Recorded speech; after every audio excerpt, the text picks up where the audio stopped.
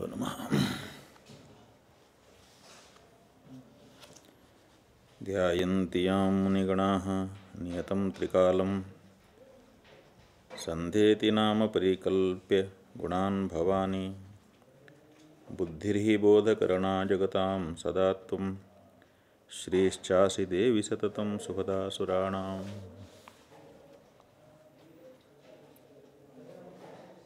भगवान श्री शंकराचार्य जी के द्वारा रचित एक स्तोत्र है, पांडुरंगाष्टकम। उसी पांडुरंगाष्टकम का पाठ हम लोग कर रहे हैं। तो उसमें चौथा जो श्लोक है, स्फुरत कौस्तुभालंकृतम कंठदेशे, श्रियाजुष्टकेयूरकम श्रीनिवासम, शिवम शांतमीड्यम वरम लोकपालम, परब्रह्मलिंगम भजे पांडुरंगम। महाराष्ट्र में पंढरपुर जगह है। वहाँ पर भगवान पांडुरंग एक ईंटे के ऊपर दोनों पैर समान रूप से जमा करके खड़े हुए दोनों कम कमर पर हाथ रखे हुए भगवान का दर्शन वहाँ पर होता है। जी। तो क्यों दोनों कमर पर हाथ रखे हैं और क्यों एक ईंट पर खड़े हैं ये सब चर्चा चली। अब ये जो श्लोक है इसमें बताया, स्फुरत कौस्तुभालंकृतम भाल देशे कंठ देशे कंठ में फड़कता हुआ कौस्तुभमणि धारण किए हुए हैं। श्रियाजिष्ट केयूरकम और श्री से शोभा से संपन्न केयूर माने बाजूबंद भगवान पहने हुए हैं। और उसके बाद आया श्री निवासम वो श्री के निवास हैं। श्री माने लक्ष्मी।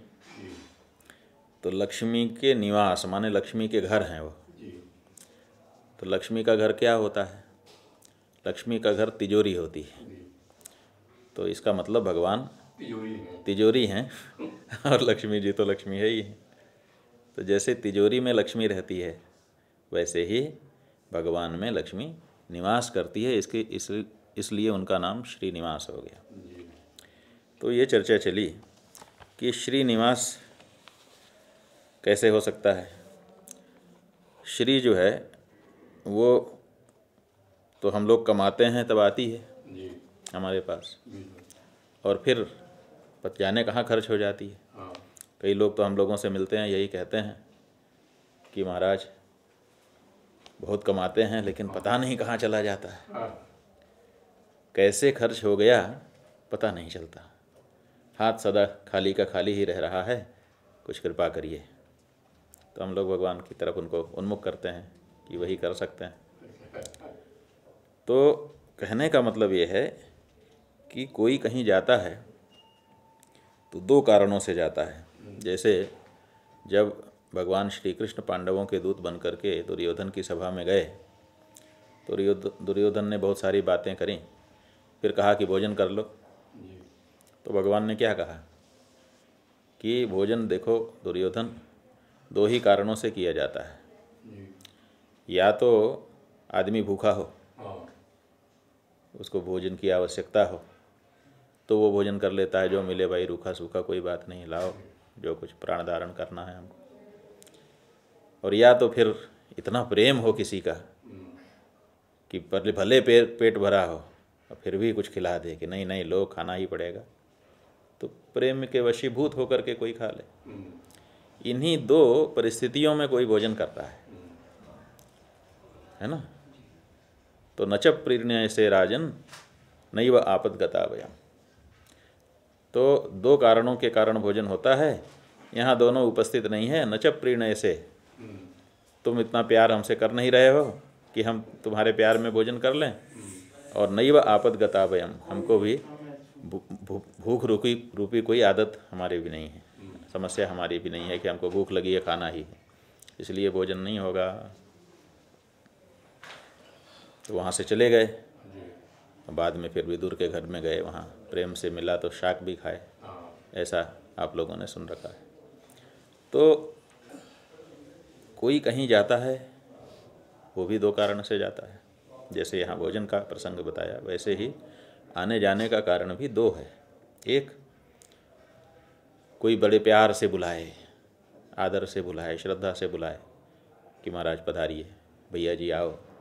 बाबूजी आओ। आना ही पड़ेगा आपको आना ही पड़ेगा आपको आना ही पड़ेगा बार बार आमंत्रित करे तो फिर आदमी ज़्यादा नहीं रुक सकता। उसको फिर जितना बुलाने वाले का प्रेम गहरा होगा उतना ही उसको यहाँ बाकी काम छोड़ करके जाना पड़ेगा। जैसे किसी वस्तु को किसी जगह चिपका दो और उसको खींचो तो जितना खींचने में बल होगा उतना ही उस जगह को वो जहाँ चापने चिपकाया, वो चीज़ छोड़ने लगेगी। अगर पूरा ही बल आ गया तो पूरा ही छोड़ करके आ जाएगी।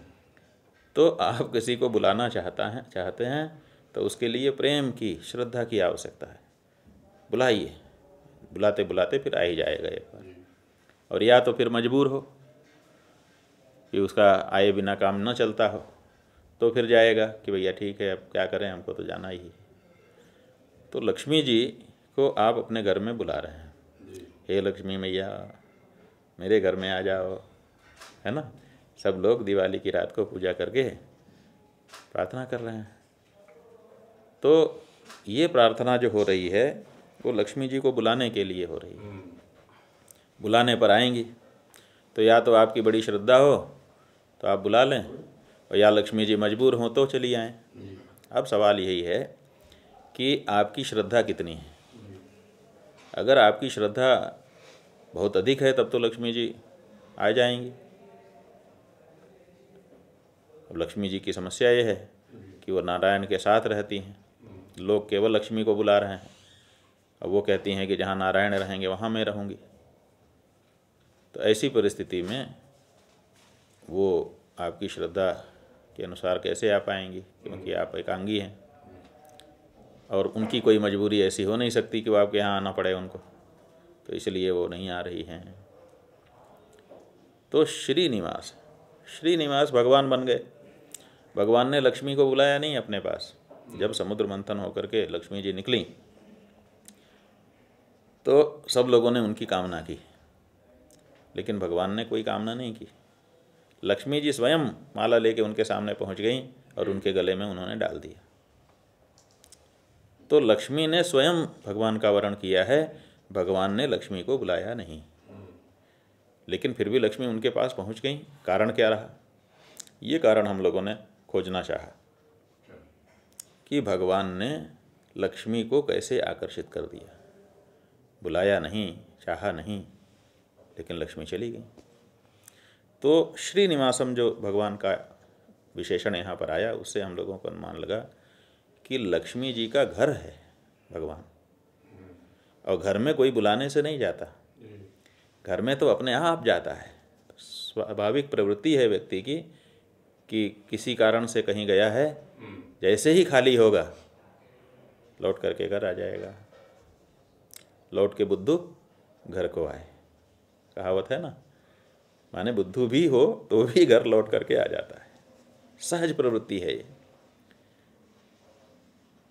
तो ऐसा कुछ हो जाए कि लक्ष्मी जी अपने आप हमारे यहाँ चली आए। तो बताया, उत्साह संपन्नम दीर्घ सूत्रम, क्रिया विधिज्ञम व्यसने स्वशक्तम शूरम कृतज्ञम दृढ़ सौहृदम च। लक्ष्मी स्वयं याति निवास हेतु। तो। लक्ष्मी उस व्यक्ति के घर में स्वयं निवास करने के लिए चली जाती है, जिसमें ये गुण होते हैं। कौन कौन से? उत्साह संपन्न। उत्साह का मतलब होता है क्रिया कोई कार्य करने के लिए प्रसन्नता। किसी काम को करना है हाँ हाँ ज़रूर, अभी शुरू कर दे। और अंतिम तक उसको, उस कार्य को पूरा करने तक मन में प्रसन्नता बनी रहे। इसी बात का नाम है उत्साह। तो कोई ऐसा हो, उत्साही हो, कोई कार्य उसके सामने आया हाँ हाँ अभी करते हैं लग जाए। बाद पे ना टाले, जी ना चुराए तो उसके पास लक्ष्मी आने लगेंगी। आप देख लीजिए जो भी काम करने वाले लोग हैं ऐसे लोग जो उत्साह से जो भी काम सामने आता है उसको करते हैं दौड़ करके प्रसन्नतापूर्वक तो उनकी बड़ी डिमांड होती है बड़ी मांग होती है उनकी। और जो काम चोर होते हैं बहाना बनाते हैं। आज ये समस्या है आज ये समस्या है। अच्छा ऐसा करता हूँ शाम को करता हूँ अच्छा कल करता हूँ। तो फिर उनसे लोगों का मन हट जाता है और उनके पास लक्ष्मी कमज़ोर हो जाती है जाने में। इसी तरह से अदीर्घ सूत्रम। सोचते रहना, निर्णय ही ना ले पाना। बहुत से लोगों की यह समस्या होती है कि वो निर्णय ही नहीं ले पाते कि मैं क्या करूँ। टालते रहते हैं, टालते रहते हैं। तो उससे भी काम बिगड़ जाता है। और क्रिया विधिज्ञम, कोई कार्य कैसे करना है इसकी विधि नहीं जानते। उनको भी सफलता नहीं मिलती।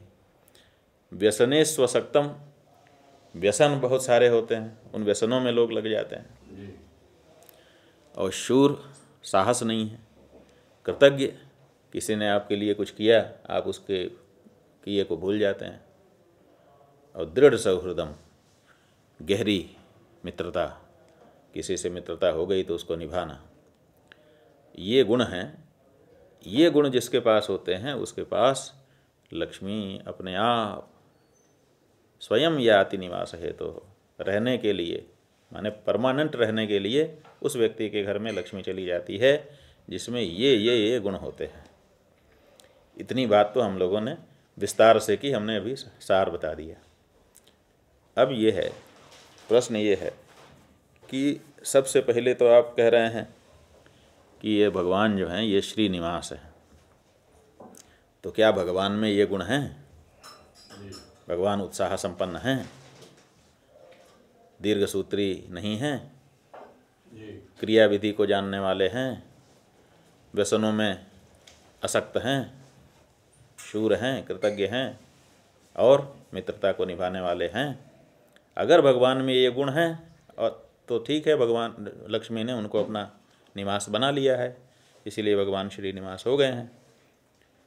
और अगर नहीं हैं तो फिर ये बातें बेकार हैं। तो अपने लोग देखें कि भगवान के गुण क्या हैं और लक्ष्मी क्यों उन्हीं के यहाँ रहने गई हैं? उनके अंदर क्या क्या वैशिष्ट है? तो भगवान के वैसे तो बहुत गुण हैं।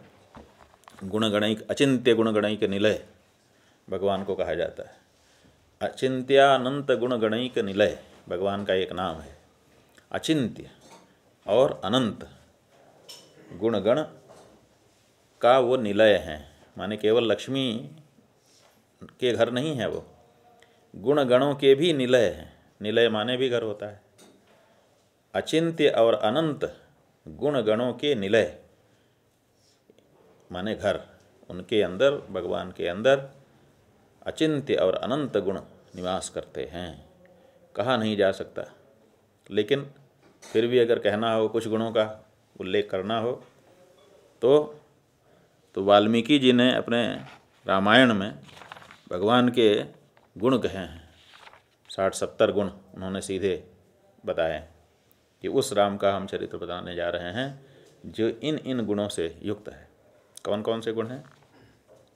नियतात्मा महावीर द्युतिमान धृतिमान, वशी, बुद्धिमान, नीतिमान, वाग्मी, श्रीमान, शत्रुनिबर्हण।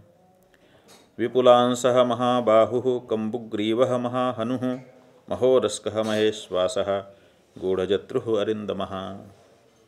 आजानुबाहु, सुशिरा सुललाटस्विक्रम समः समविभक्तांग स्निग्धवर्ण प्रतापवान्।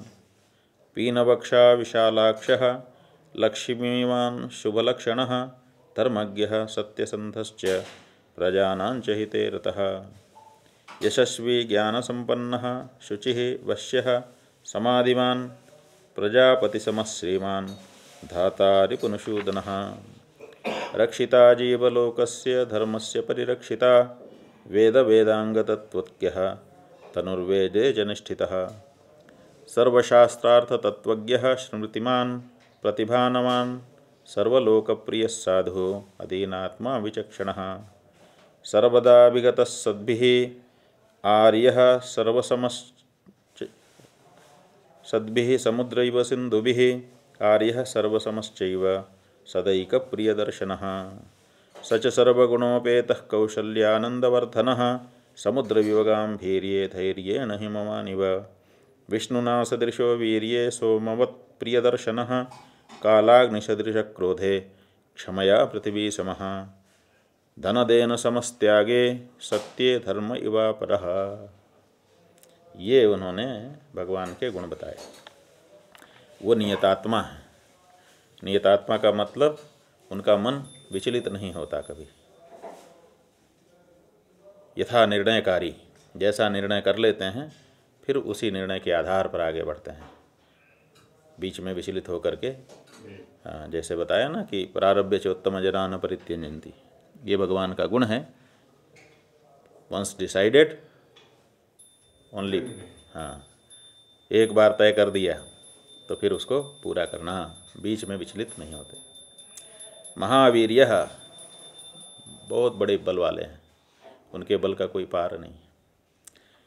द्युतिमान माने तेजस्वी, धृतिमान माने धैर्य धारण करने वाले, वशी माने सबको वश में कर लेते हैं। बुद्धिमान हैं, ज्ञानी हैं, नीतिमान हैं। नीतिज्ञ हैं, जानते हैं। वाग्मी माने वक्ता हैं, बहुत अच्छा बोलते हैं। श्रीमान माने उनकी शोभा भी बहुत अच्छी है, देखने में भी सुंदर हैं, केवल बोलने में नहीं। शत्रु निबरहण अपने शत्रुओं का पराभव कर देते हैं। विपुलांश, उनके कंधे बड़े बड़े हैं। महाबाहु भुजा लंबी है कम्बुग्रीब गला जो है वो शंख की तरह से है। महाहनु, जो ठुड्डी है, वो बड़ी है। महो रसकह छाती बड़ी चौड़ी है। छप्पन इंच याद आ जाता है। महेश श्वास उनका जो कंधे और बाह का जोड़ है, वो भी बहुत मज़बूत है, बनावट, उसकी जो है कसावट, उसकी अच्छी है। अरिंदमा, अगर कोई शत्रुता उनसे करता है तो उसका दमन कर देते हैं। आजान बाहु जांग, ये जो घुटना है, यहाँ तक उनकी बाहें लटकी हुई है। सुशिराहा, सुंदर मस्तक है। और उनकी जो मसल्स हैं, शिराएँ, वो भी बहुत अच्छी हैं। सुविक्रम, जहाँ पराक्रम दिखाना चाहिए, वहीं पर पराक्रम दिखाते हैं। समह माने न तो अधिकांग हैं, न तो हीनांग हैं। किसी किसी के शरीर में कुछ अंग ज़्यादा होता है और किसी के कुछ कम होता है। ऐसा नहीं है। सम विभक्तांग कई कोई आदमी को कोई अंग छोटा होता है और कोई अंग ज़्यादा बड़ा होता है, लेकिन भगवान के शरीर की बनावट में सम विभक्तांग सभी अंग समान। स्निग्ध वर्ण उनका जो रंग है, वो सुंदर है। स्नेह पूर्ण वाला है। प्रतापवान, प्रतापी हैं। पीन वक्षा छाती जो है, वो उभरी हुई है। ये वीरता का लक्षण है। जो वीर होते हैं, उनकी छाती उभरी होती है। विशालाक्ष, बड़ी बड़ी आँखें हैं। लक्ष्मीमान, माने बहुत संपन्न हैं। शुभ लक्षण, शरीर में जो सामुद्रिक लक्षण होते हैं साहब शुभ लक्षण ही है, अशुभ कोई लक्षण ही नहीं। माने जैसे तिल है तो यहाँ दाहिने हो तो शुभ है, बाएँ हो तो अशुभ है तो ऐसा है ही नहीं। कोई तिल बाएँ नहीं है। जो है सो दाहिने है। इस तरह से सभी शुभ लक्षण उनके शरीर में विद्यमान हैं। धर्मज्ञ कर्तव्य बोध पूरा है। सत्यसंधश्च, सत्यसंध है। सत्यसंध माने जो कहा सो किया। कह देने के बाद कभी उनकी बात खाली, जबान खाली नहीं जाती। प्रजा नाम चहिते रतः, सदा उनका मूल काम क्या है? प्रजा के, माने अपने भक्तों के, शिष्यों के, प्रजा के परिपालन में, उनके हित में रत रहते हैं। यशस्वी, वो तो है ही हैं। रावण आदि के वध से उनका यश कितना बढ़ गया। पिता की आज्ञा के पालन से उतना यश है उनका। ज्ञान संपन्न बहुत सांसारिक भी नहीं है वो वो ज्ञानी है ब्रह्म ज्ञानी है। शुचि ही अंदर बाहर से पवित्र है। वश्य, ये भी गुण होता है। अपने पिता के, अपनी माता के, अपने आचार्य के, अपने देवता के वश में रहना। तो वो वशी हैं, वो स्वयं वश में रहते हैं। सबको वश में करते हैं, लेकिन स्वयं अपने से बड़ों के वश में रहते हैं। समाधिमान, हर समय समाधि लगाए रहते हैं, माने सोचते रहते हैं। क्या सोचते हैं? कि इस भक्त का कल्याण कैसे करूँ, इस भक्त का कल्याण कैसे करूँ। प्रजापति समह, जैसे ब्रह्मा जी निर्माण नया कर लेते हैं, ऐसे राम जी भी नया निर्माण कर देते हैं। रावण आतंकी, पूरे जगह, पूरे देश में, विश्व में आतंक मचाए हुए था, सब डरे हुए थे। अब भगवान ने बदल दिया परिदृश्य। श्रीमान, ऐश्वर्यशाली हैं। धाता, जैसे पिता पालन करता है, वैसे ही पालन करने वाले हैं। और रिपुनशूदन अपने शत्रुओं का नाश ही कर देते हैं। जीवों की रक्षा करते हैं, धर्म की रक्षा करते हैं, धर्म की रक्षा का तात्पर्य धर्म का पालन करते हैं। वेद वेदांग के तत्वज्ञ हैं, चार वेद हैं, छह वेदांग हैं, और धनुर्वेदे च निश्चित, धनुर्वेद उपवेद है, माने उपवेदों में भी वो पारंगत हैं। सर्वशास्त्रार्थ तज्ञ जितने भी शास्त्र हैं, सबका तत्व जानते हैं। स्मृतिमान माने स्मृति ग्रंथों को भी जानते हैं। प्रतिभानवान, उनकी जो प्रतिभा है नव नवोस नव नवोन्मेषशालिनी है।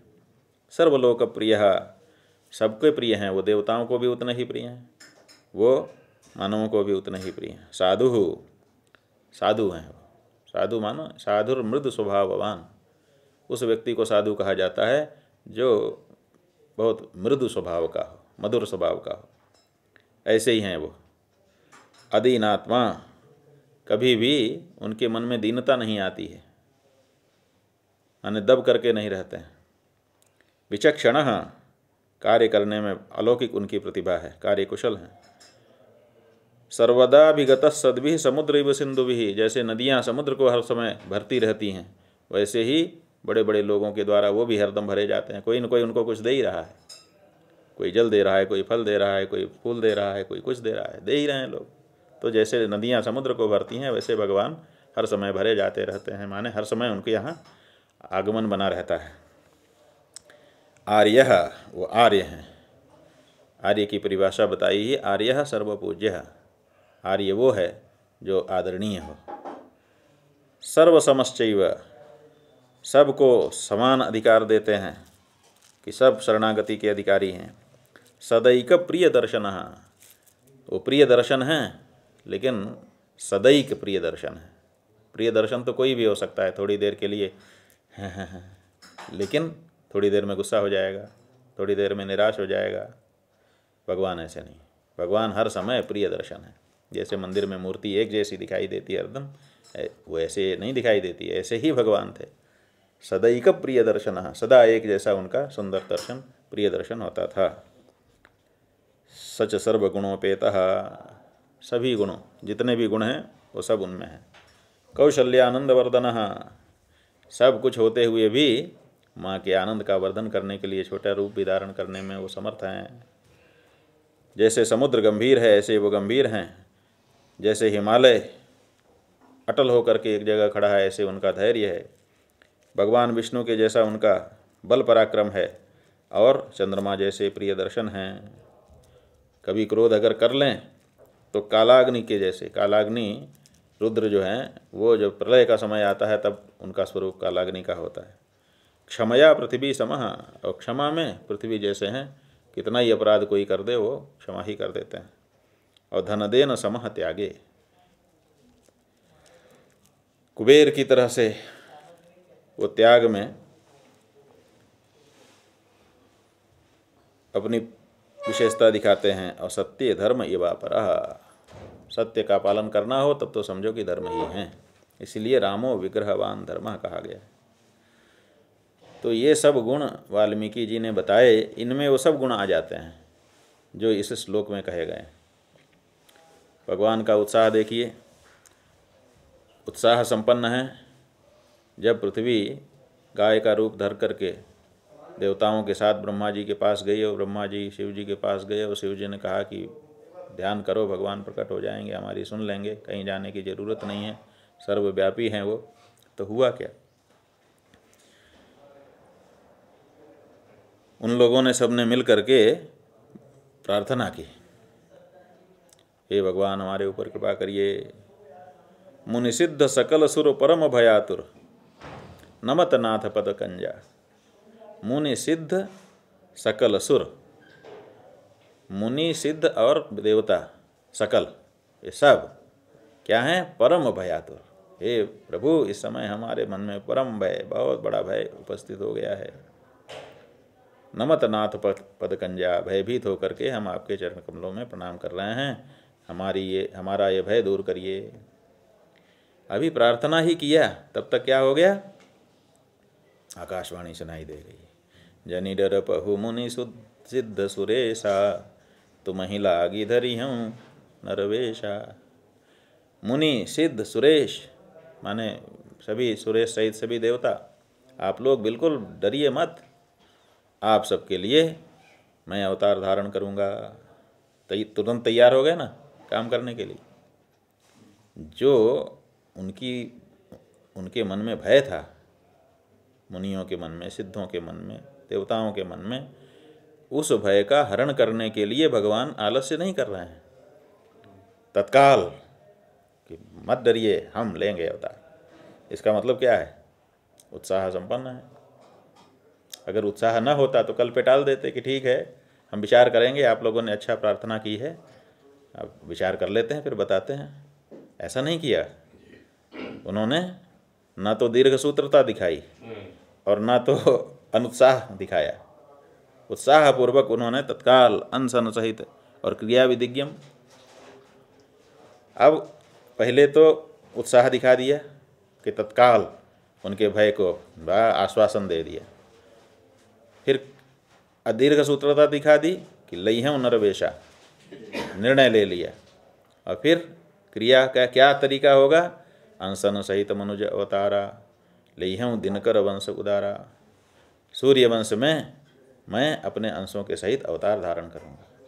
उनको क्रिया विधि भी आ गई कि कैसे कैसे काम आगे बढ़ेगा। है ना? जानी सभय सुर भूमि सुनि बचन समेत स्नेह, गगन गिरा गंभीर वही हरन शोक संदेह। शोक और संदेह। शोक क्या है? डर है उन सबके मन में। और संदेह क्या है कि पता नहीं भगवान हमारी मदद करेंगे कि नहीं करेंगे। चलो प्रार्थना तो करते हैं देखो क्या पता। ये संदेह है तो हरणी शोक संदेह। शोक का भी हरण हो गया आश्वासन मिल गया तो उनके बल आ गया। और संदेह भी मिट गया कि नहीं नहीं करे तो कर ही रहे हैं। और भगवान क्रिया विधि बता दिए कि सूर्यवंश में मैं उतार लूँगा और कारण भी बता दिए कि देखिए पहले से एक व्यवस्था है उसी का उपयोग हम करेंगे। क्या है? कश्यप अदिति महातप कीना तिनका हमें पूर्व पर दीना। कश्यप और अदिति ने पहले बहुत बड़ी तपस्या की है। मैंने उनको पहले ही वरदान दे दिया है कि आपके घर में मैं पुत्र के रूप में आविर्भूत होऊँगा। इस समय वो दशरथ और कौशल्या बन करके कौशलपुरी प्रकट नरभूपा, कौशलपुरी में प्रकट हुए हैं। तिनके गृह अवतरी हूँ जाई। सूर्यवंश की तो बहुत सारे रहे होंगे। लेकिन सूर्यवंशियों में भी कहाँ? पता भी बता दिया कौशलपुरी में, और नाम भी बता दिया दशरथ और कौशल्या, और उनका पूर्व भी बता दिए माने कोई संदेह आप लोगों के मन में न रहे। सब कुछ साफ़ साफ़, क्रिया विधिज्ञम। भगवान क्रिया विधिज्ञ भी हैं, उत्साह संपन्न भी हैं, और दीर्घ सूत्रता तो बिल्कुल है नहीं, और क्रिया विधिज्ञ भी हैं। अब इतना तो बता दिया और इसके बाद का भी उन्होंने सोच ही लिया है। तभी तो इतना बताया। और व्यसने स्वशक्तम। व्यसन में भी वो असक्त हैं। आसक्त नहीं है। व्यसन क्या है? तो हम लोगों ने व्यसन के बारे में लंबी चर्चा की थी। फ़िलहाल ये है कि कामज और कोपज व्यसन होते हैं। कामज माने इच्छा से और कोपज माने क्रोध से। इच्छा और द्वेष। क्रोध जो है द्वेष से आता है। इच्छा और द्वेष से ये उत्पन्न होता है व्यसन। तो कामज दोष क्या हैं? मृगया द्यूत स्त्री और मद्यपान, ये कामज दोष है। तो मृगया माने शिकार खेलना। शिकार खेलना ये व्यसन है। बहुत से लोग कुछ नहीं तो अपना यही मछली मारने जा रहे हैं। आजकल जो शिकार नहीं कर सकते, कुछ काम नहीं है तो अपना ले लिए डोरी और वो अब जाके बैठे हैं।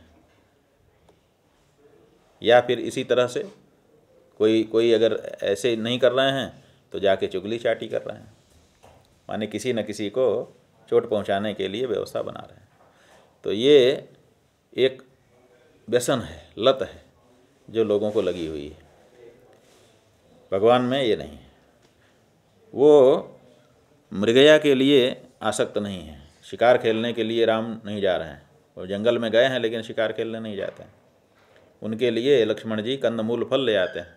उसी का आहार करते हैं। जबकि उनके पास तो धनुष है, बाण भी है, और सूर्यवंशी होने के नाते मृगया राज परिवार से होने से प्राप्त भी है। लेकिन राम जी शिकार खेलने नहीं जाते। आप कहेंगे कि नहीं गए थे? जब मारीच स्वर्ण मृग बन करके आया था तो उसके पीछे तो दौड़े थे, उसको तो बाण मारा था, मार ही दिया था उसको। तो राम की लत नहीं थी वो, राम का व्यसन नहीं था वो। वो सीता जी ने किया था। जैसे पुरंजन उपाख्यान में हम लोगों ने देखा भागवत जी में, कि पुरंजन जो है वो पुरंजनी में आसक्त है। पुरंजनी में आसक्त पुरंजन हर समय पुरंजनी के साथ रहता है। वो खाती है तो खाता है, वो नहाती है तो नहाता है, वो सोती है तो उसी के साथ सोता है। छोड़ ही नहीं पा रहा है। लेकिन एक दिन विहाय जायाम अतदर्राम मृग व्यसन लालसह उसी प्राण से प्यारी पुरंजनी को छोड़ करके एक दिन मृगया मृग व्यसन लालसा, मृगया के व्यसन का लालसा, की लालसा से वो जंगल में शिकार खेलने चला गया। माने अत्यंत प्रिय पत्नी को भी छोड़ करके शिकार खेलने गया। तो शिकार के लिए उसके मन में उससे भी ज़्यादा ललक रही होगी तभी तो गया। अन्यथा उसको छोड़ के क्यों जाता? है हम किसी चीज़ को छोड़ते हैं उससे बेहतर चीज़ के लिए। तो इसका मतलब है कि पुरंजन के मन ने ये माना कि उधर खिंचाव उसके मन का ज़्यादा हुआ। तो वो व्यसन हो गया। लेकिन भगवान श्री राम का ऐसा नहीं हो रहा है। उनके सामने स्वर्ण मृग घूम रहा है। भगवान को कुछ फ़र्क नहीं पड़ रहा है। तब सीता जी, सीता परम रुचिर मृग देखा, अंग अंग सुमनोहर देखा। सीता जी ने परम ऋषि मृग को देखा, एक एक अंग बड़ा सुंदर दिखाई दे रहा था, एकदम सोने का मृग सोने का मृग कभी होता ही नहीं है, ये क्या है? तो सीता का मन आकर्षित हो गया। आकर्षित क्या हो गया? आकर्षित होना ही था। क्योंकि पहले उनकी योजना बन चुकी थी। तुम पावक महा करो निवासा, जब लगे करो निशाचर नासा। पहले से योजना बनी हुई थी, उस योजना का क्रियान्वयन हो रहा है। अब वो क्रियान्वयन कैसे होगा कि लक्ष्मण जी के सामने प्रकट करना नहीं है? तो लक्ष्मण जी के सामने सीता जी कह रही हैं, प्रभु, ये सोने का मृग बड़ा सुंदर है। इस मृग की अगर छाला बनाई जाए, मृगशाला तो उस पर बैठ करके जब आप पूजा पाठ करेंगे तो बड़ा अच्छा लगेगा। एक अलग ही स्वरूप निखर करके आएगा। इसका वध करके इसकी अगर छाला ला दें, मांस ला दो, ये नहीं कह रही हैं सीता जी भी। यही मृग कर अति सुंदर छाला। मृग का वध मांस के लिए नहीं किया जा रहा है, उसकी छाला के लिए किया, करने की बात कह रही हैं कि इसकी छाला बड़ी अच्छी है, वो अगर आ जाए तो बड़ा अच्छा हो गया। सत्यसंद प्रभु बध कर ये ही आनहु चर्म कहती वैदेही। वैदेही कह रही हैं कि इसका चर्म ले आइए। तो चर्म ले आइए का मतलब ये निशाचर है, इसकी चमड़ी उधेड़ दीजिए। इसको इतना मारिए, आजकल की भाषा में अगर आपको समझाने की ज़रूरत पड़े तो आजकल यही कहते हैं कि इसको इतना वो करिए कि चमड़ी उधेड़ लेंगे। कोई गुस्सा होता है किसी को तो कहते हैं हम इतना मारेंगे कि चमड़ी उधेड़ लेंगे। तो वो कह रही हैं कि ये मारीच है रावण का भेजा हुआ है इसकी चमड़ी उधेड़ लीजिए महाराज। तात्पर्य ये है उसी को दूसरी शब्दावली में कहा जा रहा है। तो भगवान ने कहा ठीक है। भगवान उनके पीछे चले गए। गए क्यों? इसलिए नहीं गए कि उनको मृग का मांस चाहिए था या मृग की छाला चाहिए थे। तब रघुपति जानत सब कारण, उठे हरसी सुर काज समारन। रघुपति जो हैं वो सब कारण जान रहे हैं। देवताओं का कार्य संभालने के लिए वो उठ करके खड़े हो गए, चल पड़े। निगम ने तिशिव ध्यान न पावा, सो माया मृग पाछे धावा। जिसको वेद वर्णन करते हैं, जिसका नेति नेति कह देते हैं। शिव जी ध्यान लगाते हैं, जिसका पार नहीं पाते हैं। वो माया मृग के पीछे, एक नकली हिरण के पीछे। असंभवम हेम मृगस्य जन्म। तथापि रामो लुलुभे मृगाय। प्राय समापन्न विपत्ति काले, धियो पिपुंसाम मलिनी भवंती नीतिकार कहते हैं कि सोने का मृग हो सकता है। हो सकता है। सोने का कोई मगर हिरण बना दे तो हो जाएगा। लेकिन वो चलेगा, फिरेगा थोड़े। वो घास थोड़े चरेगा। वो तो केवल खड़ा होकर दिखेगा। जो बच्चा है वो कहेगा यहाँ हिरन है। लेकिन जो बड़े हैं वो समझ जाएँगे कि हिरन नहीं है, ये हिरन का आकार प्रकार है केवल। तो असंभव है कि सोने का कोई हिरन हो और वो आकर के जंगल में चरना शुरू कर दे। असंभवम हे मृग से जन्म। लेकिन फिर भी राम जैसे विद्वान उसमें लोभाए लुब्ध हो जाते हैं। ये क्या बात है? तो ये बात वही है कि वो लुब्ध नहीं हुए हैं, वो जान रहे हैं। तब रघुपति जानत सब कारण, उठे हरसी सुर काज समारण। देवताओं का कार्य उनको करना है, क्योंकि उसी के माध्यम से रावण का वध करना है। तो देवताओं के कार्य का समाधान, देवताओं की समस्या का समाधान करने के लिए भगवान श्री राम ने जो योजना बनाई है, उस योजना को जानते हुए वो हरसी उठे। प्रसन्न होकर के उठे कि चलो, अब ये शुरू हो रहा है। उल्टी गिनती शुरू हो रही। तो भगवान मृगया करने नहीं जा रहे हैं। माने उनको मृगया का व्यसन नहीं और फिर मारीच का वध उन्होंने कर दिया। कहते हैं, मारीच का जो वध कर दिया तो मारीच को उससे से नहीं मारा। क्यों? क्योंकि मारीच भी भगवान का भक्त था। जब रावण उसके पास गया कि तुम ऐसे ऐसे हमारी योजना के अनुसार स्वर्ण मृग बन करके जाओ और उनका सीता का अपहरण हमको करना है तो मारीच को ये बात पसंद नहीं आई। उसने कहा ये कैसे करूँ? तो रावण ने तलवार निकाल ली। कहा ठीक है मत करो। हम कि, किसी और से करवा लेंगे लेकिन हम जिससे करवाएँगे वो देखने के लिए तुम नहीं रहोगे। उसने हाथ जोड़ लिया कि नहीं महाराज क्यों हाथ जोड़ लिया? कि अब मृत्यु तय है। अब जब मरना ही है तो रावण के हाथ क्यों मरे राम के हाथ क्यों ना मरे? इसलिए ये जान करके, मान करके वो आया और जैसे ही भगवान ने बाण मारा, प्राण तजत तजत प्रगट से निज देहा। हिरण का शरीर छोड़ दिया, अपना शरीर प्रकट कर दिया। और सुमिरे से राम स्नेह समेता। भगवान श्री राम का स्नेह समेत स्मरण करने लगा। राम राम। और भगवान श्री राम ने क्या किया? अंतर प्रेमतासु पहचाना, मुनि दुर्लभ गति दीन सुजाना।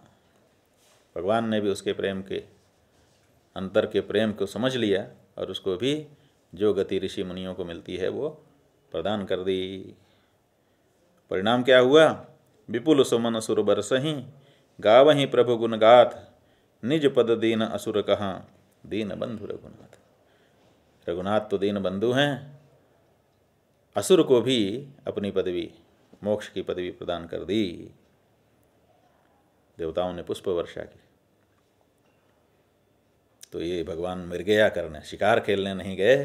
माने उनको शिकार का कोई व्यसन नहीं है। इसी तरह से द्यूत द्यूत माने जुआ, इसकी भी लत हो जाती है लोगों तो भगवान को जुए की भी लत नहीं है। भगवान श्री राम के जीवन में कृष्ण के जीवन में कभी ऐसा प्रसंग आया कि वो जुआ खेल रहे हैं? द्यूत नहीं खेल जुआ नहीं खेलते। स्त्री, ये भी एक लत है।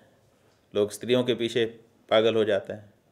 भगवान श्री राम वो स्त्रियों के पीछे पागल नहीं।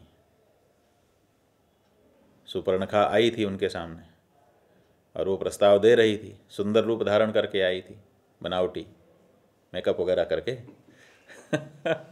लेकिन भगवान श्री राम ने स्वीकार नहीं किया। उन्होंने कहा कि मेरा विवाह हो चुका है, अहि कुमार मोर लघु बात। कई लोग कहते हैं कि भगवान श्री राम ने झूठ बोल दिया। राम तो कुमार लक्ष्मण तो कुमार थे नहीं। उनका तो विवाह उन्हीं राम जी के साथ ही हो चुका था। जनक नंदिनी से ही। तो कैसे कह दिया उन्होंने? झूठ बोल दिया। लेकिन विद्वान लोग कहते हैं, राम झूठ बोल ही नहीं सकते, वो कहते हैं, अहि कुमार, कुत्सितान मारयती थी कुमार। जो दुष्ट, कु माने दुष्ट, उसको दुष्टों को जो मारे वो, हमारे भाई जो है वो दुष्टों को मारता है। जाओ, तुम भी दुष्टा हो, परपति की आकांक्षा कर रही हो। जाओ, अपना प्रसाद पाओ, और फिर लक्ष्मण अति लाघव सो नाक कान बिनकीन। ताके कर रावण कह मनो चुनौती दीन। नाक कान जो काटा, वो उसको तो दंड दिया ही। उसके माध्यम से राम, रावण को चुनौती दी गई।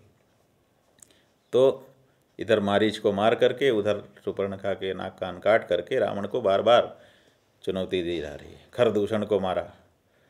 तो इस तरह से रावण को चुनौती दी जा रही थी। और रावण सामने आ नहीं रहा था। सीता जी को अपहरित करके बैठा हुआ था कि इनके, इनकी तो सीता हमारे पास है, ये झुकेंगे हमारे सामने। वो जब सीधी लड़ाई कोई नहीं लड़ सकता तो इस तरह की छद्म लड़ाइयाँ लड़ता है। खैर तो कहने का मतलब है कि कामज जो व्यसन हैं, वो यही सब हैं। द्यूतम, पानम, मद्यपान है। लोग शराब के नशे में, व्यसन में हो जाते हैं भगवान के बारे में। ऐसा कोई उल्लेख नहीं मिलता कि भगवान कहीं शराब पी रहे हैं। स्त्री के बारे में भी सुपर्णखा की गति ये कर दी, और आप देखिए कि राम जी ने सीता का निर्वासन कर दिया किसी कारण से। लोगों ने उनको कहा कि विवाह कर लीजिए दूसरा, आप तो राजा हैं। राजा तो अनेक विवाह, आपके पिताजी ने तीन विवाह किया था। आपकी तीन माताएँ थीं तो आप भी विवाह कर लीजिए। तो राम ने विवाह नहीं किया। लोगों ने उनके ऊपर तरीका आजमाया कि यज्ञ में पत्नी के साथ बैठने का नियम है तो यज्ञ के लिए तो कर लीजिए, कम से कम धर्म पत्नी, धर्म करने के लिए तो पत्नी का संग्रह कर लीजिए, भोग करने के लिए मत करिए। आप अगर स्त्री को भोग नहीं करना चाहते हैं अब, सीता के अलावा तो धर्म के लिए पत्नी का संग्रह कर लीजिए। कम से कम आपके बगल में बैठ के धर्म कार्य तो करेगी। भगवान ने धर्म के लिए भी दूसरी पत्नी का संग्रह नहीं किया। तो इसलिए वो व्यसनी तो बिल्कुल नहीं है।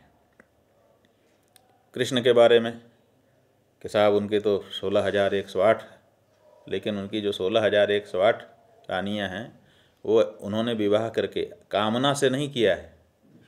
परिस्थिति बस। किसी का कहीं, किसी का कहीं सबके अलग अलग आता है। रुक्मिणी ने पत्र लिख करके भेजा कि मैं बिल्कुल नहीं चाहती हूँ। शिशुपाल के साथ मेरा विवाह किया जा रहा है। किसी तरह से मुझे बचा लीजिए। तो उनको बचाने के लिए उनको लिया। समंतक मणि खो गई। वहाँ जाम्बवान से उनका संघर्ष हुआ। जाम्बवती को उन्होंने प्रदान कर दिया। उसको लेना बहुत ज़रूरी था, क्योंकि गवाही कौन देता कि समंतक मणि जो है इन्होंने नहीं चुराई, क्योंकि भगवान के ऊपर कलंक लगा हुआ था।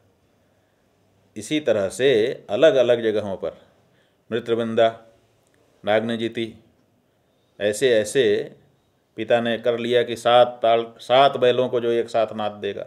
और वो दुर्दांत थे। अब उस कन्या का विवाह ही नहीं हो सकता था। तो भगवान ने कहा, ठीक है। बहुमासुर ने सोलह हज़ार एक सौ कन्याओं को बंदी बना करके रखा था कि बीस हज़ार हो जाएँगी तो एक साथ विश्व रिकॉर्ड बनाते हुए मैं विवाह करूँगा कि बीस हज़ार विवाह एक साथ। सोलह हज़ार एक सौ हो चुकी थी। जहाँ जहाँ सुंदरी कन्याएँ दिखती थी, पकड़ पकड़ के मंगवा लेता था और उनको डंप करता था। उनको भवमासुर को मार करके उन सबको आज़ाद करवाया और कहा कि आप सब अपने अपने घर चली जाइए। तो उन कन्याओं ने कहा कि महाराज, इतने दिन भौमासुर के जेल में हम रह चुके। अब हम जब घर जाएँगे तो हमारे ऊपर कौन भरोसा करेगा कि हम पवित्र हैं? तरह तरह की बातें होंगी। पता नहीं हमारा विवाह हो पाएगा कि नहीं हो पाएगा। कम से कम ये हमारे साथ विवाह तो करने वाला था। आपने हमको जेल से छुड़ाया, हमको बहुत अच्छा लग रहा है। लेकिन अब हमारी क्या परिस्थिति होगी, ये सोच करके भी हम बहुत दुखी हैं। तो भगवान ने कहा, चिंता मत करो, अगर तुम्हारे साथ कोई विवाह नहीं करना चाहता तो हम करते हैं। हम तुम्हारा पालन करेंगे। तो भगवान ने इन परिस्थितियों में उनका संग्रह किया। भोग के लिए नहीं किया। तो इसलिए कृष्ण को योगी कहा जाता है। सोलह हज़ार एक सौ आठ पत्नियाँ होते हुए भी कृष्ण जो है भोगी नहीं कहलाए, क्योंकि भोग के लिए उन्होंने पत्नी का संग्रह किया ही नहीं। तो ये जो स्त्री की लत है, व्यसन, ये भी भगवान में नहीं दिखाई देता है। भगवान ने कभी भी स्त्री की कामना नहीं की। धनुष भंग हुआ जनक जी के यहाँ तो वहाँ प्रतिष्ठा दांव पर थी। भूप सहस एक ही बारा लगे उठावन टरही नटारा। इतने सारे राजा आए थे सीता जी के स्वयंवर में, और कोई भी धनुष को उठा भी नहीं पा रहा है, तोड़ना तो दूर है। ऐसी परिस्थिति में राम जी भी उसी में गुरु जी के साथ गए थे, स्वयं तो गए नहीं थे। विश्वामित्र गए थे और अपने साथ चेले के रूप में, शिष्य के रूप में इन लोगों को भी ले गए थे। अब ये लोग वहाँ बैठे हुए थे। अब जब जनक जी ने मंच पर खड़े होकर के भाषण देना शुरू कर दिया अब जनी को माँ को वटमानी, वीर भीन मही मैं जानी। मैंने जान लिया कि ये पृथ्वी वीरों से खाली है। अब इस तरह की बात जब कहने लगे, तब फिर किसको सहन होगा? तब राम जी को उठना पड़ा कि ऐसा मत कहो भाई, वीर भीन नहीं है पृथ्वी। तो वहाँ पर तो आन की बात थी। सीता के संग्रह की बात नहीं थी कि हमको सीता से विवाह करना है। वहाँ तो गरिमा पर चोट हो रही थी। तो उस गरिमा पर अपने सूर्यवंश की जो महिमा गरिमा है, उसके संरक्षण के लिए भगवान खड़े हुए और जा करके धनुष को उन्होंने भंग कर दिया। सीता से विवाह हो गया, वो अलग बात है। लेकिन सीता से विवाह के लिए धनुष नहीं तोड़ा। जैसे दूसरे राजा आए थे, वैसे राम जी वहाँ पर सीता के स्वयंवर के लिए नहीं गए थे। गुरु जी के साथ सेवा के लिए गए थे। और हमने बता ही दिया कि सीता के निर्वासन के बाद भी कहते हैं कि सीता का निर्वासन क्यों किया? तो भगवान श्री राम के बारे में आया है वशिष्ठ जी के भाषण में। जब राम जी पिता की माता की आज्ञा मान करके वन चले गए, चित्रकूट में रहने लगे, तब भरत लौट करके ननिया, ननिहाल से आए। वशिष्ठ जी आए, सभा भरी, सब लोग इकट्ठा हुए, क्या किया जाए, क्या किया जाए तो वशिष्ठ जी का भाषण हुआ। वशिष्ठ जी ने कहा, भाई, अब भरत का राज्य तिलक हो जाना चाहिए। राम जी चले गए, पिता की जैसी दशरथ जी की इच्छा है, उसके अनुसार काम हो जाना चाहिए। तो उस समय वशिष्ठ जी ने अपने भाषण में कहा, नीति प्रीति परमारथ स्वारथ, को न राम सम जान यथारथ। राम से बढ़िया न तो कोई नीति जानता है, न तो कोई प्रीति जानता है, न तो परमार्थ, न तो स्वार्थ। तो लोग कहते हैं कि सीता के निर्वासन में कौन सी नीति प्रीति थी? कौन सा स्वार्थ परमारथ था? सीता को क्यों हटाया? तो विद्वान लोग बताते हैं कि सीता का निर्वासन भगवान ने इसलिए किया कि सीता जी के ऊपर अपवाद आ गया।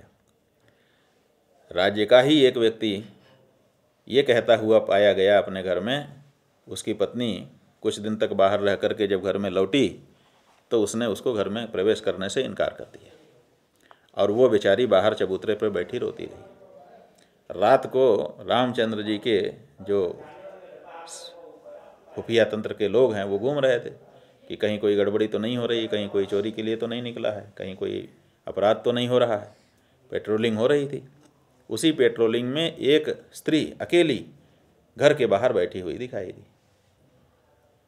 तो वो लोग पुलिस वाले गए उनके पास। कि क्या बात है? आप अकेली क्यों बैठी हुई हैं रात की समय में बाहर? कहा, हमारे घर का दरवाज़ा अंदर से बंद है, इसीलिए हम बाहर बैठे हैं। कहा, घर का दरवाज़ा अंदर से किसने बंद कर लिया? आप, वो जानता है अंदर वाला कि तुम बाहर हो? कहा जी, जानता है।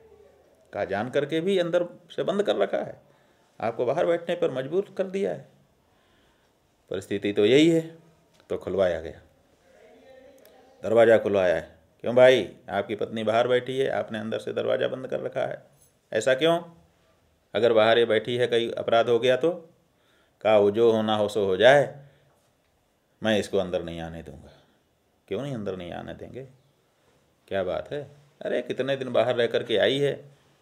अब हम, इसके ऊपर हमारा भरोसा नहीं है। पता नहीं कहाँ से क्या करके आई है। हम इसको अंदर नहीं स्वीकार करते। हम राम थोड़े हैं कि एक साल तक लंका में सीता रहे, फिर भी उसको लेके आ जाएँ अपने घर में। हम नहीं हैं। ये बात उस स्त्री के पति ने कह दी। अब वो रिपोर्ट हो गई। तो आज जैसा थोड़े है कि जिसको जो रिपोर्ट करना है, करते रहो, फ़र्क नहीं पड़ता। राम के राज्य में यही विशेषता थी कि एक एक व्यक्ति की बात सुनवाई होती थी। आजकल सुनवाई नहीं है। आजकल तो एक व्यक्ति क्या? एक लाख व्यक्ति इकट्ठे होकर कहो तो भी सुनवाई नहीं है। लोग इतना बड़ा आंदोलन एक एक साल तक चलाते हैं, सड़क पर बैठे रहते हैं, वर्षा, गर्मी, धूप, ताप, ठंड सब सहते हैं, उसके बावजूद सुनवाई नहीं होती है। और केवल एक सरकार की बात नहीं है, हर सरकारों में यही हाल है। आंदोलन करो तोड़ फोड़ करो, तब भी कोई सुनवाई होती ही नहीं, परिस्थिति ये है। लेकिन राम के राज्य की विशेषता यही है, अभी अपने लोग राम के राज्य की विशेषताओं पर लंबा नहीं जा रहे हैं। लेकिन एक व्यक्ति ने एक टिप्पणी की, राम के पास वो टिप्पणी पहुँची और राम ने उस पर संज्ञान लिया। अब संज्ञान लेकर के राम उसका निराकरण कर रहे हैं। निराकरण कैसे कर रहे हैं? कि सीता जी का निर्वासन किया। निर्वासन कैसे किया? कि सीता जी को लेकर के वो उस कक्ष में गए जहाँ पर पूर्वजों की सब चित्र विधि बनाई गई थी। फिर उसके बाद कुछ वन के दृश्य वहाँ पर दर्शाए गए थे। और सीता जो है, संभावना से थी, गर्भ उनके था। जब गर्भ रहता है तो उस समय दोहद होता है। दोहद का मतलब है कि दो मस्तिष्क हो जाते हैं। एक स्त्री का स्वयं का और एक गर्भस्थ शिशु का। तो दो तरह से सोचने लगती है। कभी ये इच्छा होती है, कभी वो इच्छा होती है, कभी वो इच्छा होती है। तो जो अच्छे लोग हैं वो उस समय जो भी इच्छा स्त्री के मन में होती है, उसको पूरा करना चाहते हैं। क्योंकि अगर नहीं पूरा करेंगे तो बच्चा जो है, वो असंतोषी प्रवृत्ति का हो जाएगा। ये जो कुछ असंतोषी प्रवृत्ति के बच्चे दिखाई देते हैं, कई लोग होते हैं ना, कि जब भोजन करने बैठेंगे तो ये भी लाओ, ये भी लाओ, ये भी लाओ, खूब रखवा लेंगे और खा नहीं पाएँगे तो आधा से ज़्यादा छोड़ देंगे। वो नहीं खा पाएँगे, लेकिन उनको चाहिए, ये भी लाओ, ये भी लाओ। घर में इतना सब सामान ला देंगे, भले उसको ओढ़े पहने ना। लेकिन बाज़ार जाएँगे तो ये भी चाहिए, ये भी चाहिए, ये भी चाहिए। अपनी उपयोगिता नहीं समझेंगे कि हमको उपयोग कितना करना है। अनावश्यक चीज़ें ला करके लाद लेंगे, फिर कुछ दिन के बाद वो बर्बाद होगी। तो ये असंतोष की जो प्रवृत्ति है, वो गर्भ से आरंभ होती है। गर्भिणी की इच्छाओं को अगर पूरा किया, उसके मन में समाधान है, असंतोष नहीं है तो बच्चा भी संतोषी होगा। तो भगवान श्री राम उनको लेकर के चित्र दिखा रहे थे। ये वशिष्ठ का आश्रम है, या अनसुईया का आश्रम है या त्रि के यहाँ गए थे अपने लोग, ये सरभंग मुनि का है, ये सब प्रसंग दिखाया जा रहा था। तो सीता जी ने कहा कि मेरा मन हो रहा है कि एक बार और जंगल में अपने लोग चलते। वो जंगल के दिन भी कितने अच्छे थे। जंगल के दिन इसलिए सीता जी को अच्छे लग रहे थे क्योंकि जो पत्नी है, स्त्री है, वो बाकी कुछ बाद में चाहती है। सबसे पहले पति का समय चाहती है कि पति ज़्यादा से ज़्यादा समय हमको प्रदान करे। ये किसी भी स्त्री की इच्छा होती है। जब जंगल में थे भगवान तो सीता जी को पूरा समय ही था। एक बार चुनी कुसुम सुहाए, निज कर भूषण राम बनाए, सीता ही पहिराए अति सादर बैठे फटिक शिला पर सुंदर। वहाँ काम ही नहीं था। रामचंद्र जी फूल चुन चुन करके उसका हार बना रहे थे और सीता को पहना रहे थे। बताइए, ये काम था। अब ये काम सीता के लिए कितना अच्छा था कि सीता जी को राम जी का साथ, सानिध्य प्राप्त हो रहा था। तो उनको प्रसन्नता थी। तो चौदह वर्ष तक जो राम जी वनवास हुआ, उसमें सीता जी को सबसे ज़्यादा प्रसन्नता रही कि उनको अपने पति का साथ मिला। अब वहाँ से लौटने के एक साल तक वियोग उन्होंने सहा, लंका जी में रह कर गए।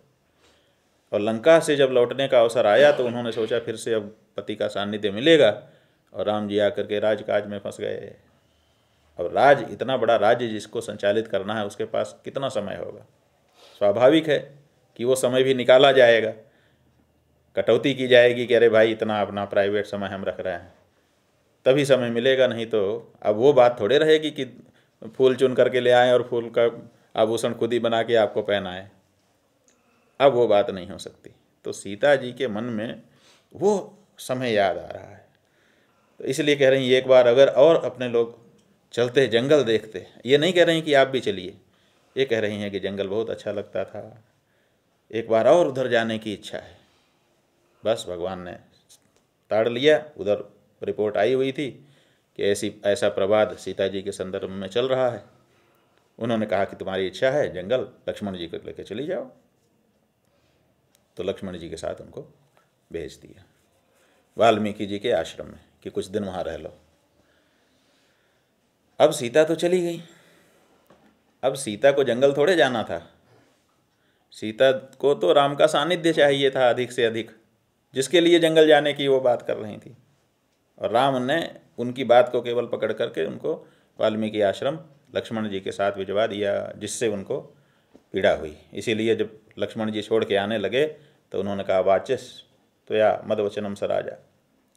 उस राजा को जा करके मेरी बात कह देना। माने राजा की तरह निर्णय लिया उन्होंने कि जो मैंने इच्छा की, उसको उन्होंने पूरा कर दिया। लेकिन मेरे मन में क्या है, इसको तो उनको समझना चाहिए था। और राम का उद्देश्य अलग था। इसीलिए कहते हैं, राम नीति प्रीति परमारथ स्वारथ, को न राम समझान जथारथ। नीति क्या थी? नीति ये थी राम की कि अगर राम जी इसका खंडन करते कि नहीं नहीं, ऐसी कोई बात नहीं है तो जैसे ही राम जी वक्तव्य देते, अखबारों में छप जाता। अभी तो एक ने कहा था, फिर तो बहुत बड़ा प्रचार हो जाता है इस बात का। खंडन करते ही सब जान जाते कि ऐसी, ऐसा प्रवाद चल रहा है इनके बारे में तो चारों तरफ़ ऐसी चर्चा होने लगती। और फिर जब चर्चा होने लगती तो स्त्री के चरित्र के बारे में अगर कोई चर्चा है तो कोई प्रमाण तो होता नहीं है। अगर किसी स्त्री के चरित्र के बारे में, किसी पुरुष के चरित्र के बारे में कोई कुछ कह दे तो उसका कोई प्रमाण तो कोई देता नहीं है, ना कोई माँगता है। लेकिन कल्पना करके ही लोग मान लेते हैं कि ऐसा होगा। तो ऐसी स्थिति में ऐसी चर्चा अगर बढ़ती तो सीता जी का जो, के प्रति जो प्रवाद था, वो तो एकदम पक्का ही हो जाता। उसकी चर्चा तो होने लग जाती। आधे लोग इधर, आधे लोग उधर। कुछ लोग कहते नहीं नहीं, ऐसा नहीं है। कुछ लोग कहते नहीं नहीं, है। हो सकता है। तब क्या होता? तो सीता तो कलंकिनी हो जाती। तो अब राम का सबसे पहला काम यह है कि सीता के कलंक को मिटाया जाए। प्रमाणित किया जाए कि नहीं, उसके चरित्र में कोई दाग नहीं है। क्योंकि सीता का यश समाप्त नहीं होना चाहिए। कलंक रह नहीं जाना चाहिए। तो इसलिए उन्होंने उसको भेज दिया। वहाँ जा कर के वो वाल्मीकि जी के यहाँ रहीं। वाल्मीकि जी ने उसी समय रामायण लिखी, लव कुश को पढ़ाया और लोग उसने आकर के राम जी की सभा में उस रामचरित को गाया, रामायण को गाया और उसमें सीता जी का प्रांजल चरित्र निरूपित हुआ। तो जब वशिष्ठ जी ने, वो, वाल्मीकि जी ने, वाल्मीकि बहुत बड़े ऋषि थे। वाल्मीकि जी जैसे ऋषि के मुँह से जब ये बात आई कि सीता के चरित्र में कोई दाग नहीं है तो जनता ने इसको स्वीकार कर लिया। अन्यथा और किसी के द्वारा ये स्वीकार नहीं हो सकता था। तो इसलिए नीति और प्रीति राम जी की प्रीति ये है कि सीता का निर्वासन तो कर दिया लेकिन जिस दिन से सीता जी गईं उसी दिन से उन्होंने अपना पलंग छोड़ दिया। ज़मीन पर चटाई बिछा के सोने लगे। और दूसरा विवाह नहीं किया। यज्ञ का अवसर आने पर भी, धर्म के लिए भी पत्नी उन्होंने नहीं स्वीकार की। ऐसा करके उन्होंने बता दिया कि इनका मन सिर्फ़ सीता के लिए धड़कता है और कोई इनके मन में नहीं है। तो सीता के लिए अपनी प्रीति का प्रदर्शन उन्होंने इस माध्यम से कर दिया। निर्वासन के बाद भी दूसरी पत्नी का संग्रह न करके सीता के लिए अपने प्रेम को पुष्ट कर दिया। ये प्रीति, परमारथ क्या है? परमार्थ ये है कि शास्त्रों में ये कहा गया है कि भाई ठीक है, पुत्र संतान के लिए, वंश के आगे बढ़ाने के लिए स्त्री का संग्रह करना चाहिए, उसी में लिप्त नहीं हो जाना चाहिए। तो इतने दिन तक साथ रहा, अब आध्यात्मिकता अपनाई जाए, जीवन को ऊँचा उठाया जाए। तो ये परमारथ है। और स्वार्थ स्वार्थ ये है कि अगर हमारे घर में दोनों बच्चे पैदा होंगे तो राजकुमार होंगे। तो राजकुमार जो हैं, वो राजा के घर में उतने अच्छे से तैयार नहीं हो पाते। इसलिए अगर ऋषि मुनियों के यहाँ रहें तो प्रारंभ से ही अनुशासन में रहेंगे। और अनुशासन में जो व्यक्ति रहता है, वो आगे चल करके बहुत ऊँचा उठता है। इसलिए हमारे बच्चे गुरु जी के यहाँ ही होने चाहिए और वहीं से उनकी परवरिश होनी चाहिए। प्राकृतिक पर्यावरण के परिवेश में। तब वो उत्तम बनेंगे। और वो उत्तम बने, आप समझिए कि लव कुश, कुशी लव जो हैं, ये छोटे छोटे बच्चे थे। उसी समय राम जी के अश्वमेध का घोड़ा निकला। किसी की हिम्मत नहीं हुई पूरे विश्व में कि राम के अश्वमेध का घोड़ा पकड़ ले। पकड़ा किसने? कुशीलव ने। कुशीलव ने पकड़ लिया और जो जो गया, चाहे भरत गए, चाहे शत्रुघ्न गए, चाहे लक्ष्मण गए चाहे हनुमान ही है, परास्त कर दिया सबको, राम को जाना पड़ा। तो कितना पराक्रम बालपन में ही उनमें आ गया, आप समझिए। ये पराक्रम क्या अयोध्या में रह करके राज परिवार में रहकर, राजमहल में रह करके उनके अंदर आता? ये वाल्मीकि आश्रम में रहकर अनुशासनबद्ध उनका पालन पोषण होने से आया, उनको ये शक्तियाँ मिली। तो ये स्वार्थ कि मेरे बच्चे अच्छे हो जाएँ। तो नीति प्रीति परमारथ स्वार्थ को न राम सम जान यथारथ। तो जो भगवान श्री राम हैं उनके अंदर कामज दोष कामज व्यसन नहीं है। इसी तरह से कोपज भी नहीं है। कोई ऐसा दंड पारुष्य अर्थ पारुष्य वाक पारुष्य का उदाहरण नहीं मिलता है कि भगवान ने भगवान जो है क्रोध में कुछ करते हों ऐसा। तो वो व्यसने स्वशक्तम क्रिया विधिज्ञम व्यसने स्वशक्तम शूरम। अब शूरता, वीरता के बारे में क्या कहना है राम की शूरता? खर दूषण रावण को क्या पता चला? रावण को यही पता चला कि पहले तो धनुष भंग हुआ। उसमें भी रावण बाण, रावण और बाणासुर गए थे। रावण बाण छुआ नहीं चापा, हारे सकल भूप करी दापा। रावण और बाणासुर ने तो धनुष को हाथ भी नहीं लगाया कि कहीं ऐसा ना हो कि हम भी ना उठा पाएँ तो हमारी रही सही इज़्ज़त। बधी बधी मुट्ठी लाख की, खुल गई तो खाक की। कहीं ऐसा ना हो जाए कि यहीं पर हमारा यश समाप्त हो जाए। हिम्मत ही नहीं की उन्होंने। और उसी सभा में राम जी ने धनुष भंग कर दिया। तो राम राम का जो शौर्य है, उनकी वीरता है, वो तो प्रकट हो गई। लेकिन यहाँ भी रावण जब निश्चय करने लगा कि अब तो युद्ध अवश्यम भावी है तो उसके विचार देखिए। वो कहता है कि खर दूषण महिषम बलवंता, तिनही को मारे बिनु भगवंता। ये कोई सामान्य नहीं हो सकता कि खर भी मेरे जैसा बलवान है और दूषण भी मेरे जैसा बलवान है। त्रिशिरा भी, बाली भी, बाली तो मुझसे भी बड़ा बलवान उन सबको मार देने वाला कोई सामान्य नहीं हो सकता, ये तो भगवान ही हैं। और फिर क्या कहता है कि लगता है कि सुर रंजन भंजन में ही भारा, जो जगदीश लीन अवतारा तो मैं जाई बैर हटि करी हूँ, अब प्रभु सर प्राण तजे भवतरी हूँ। लगता है कि साक्षात भगवान परम परम परमात्मा ने ही भूमि का भार उतारने के लिए, देवताओं के दुख को दूर करने के लिए अवतार धारण कर लिया है। अगर ऐसा है, तब तो मैं निश्चित रूप से इनसे लड़ाई करूँगा, क्योंकि तामस तन कछु साधन नाही। प्रीति न पद सरोज मन माही। अब मैं भगवान की भक्ति करना चाहूँ तो इतना मांस खा लिया है, इतना शराब पी लिया है, इतना अन्याय अत्याचार कर लिया है, कि मेरा मन तामसी हो गया है। अब तामसी मन से मैं क्या भक्ति भजन करूँगा? इसलिए भक्ति भजन तो हो नहीं सकता। तामसी आदमी यही करता है, लड़ाई झगड़ा।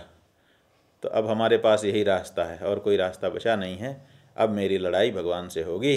और भगवान से लड़ाई होगी तो वही जीतेंगे। तो उनके बाण चलेंगे।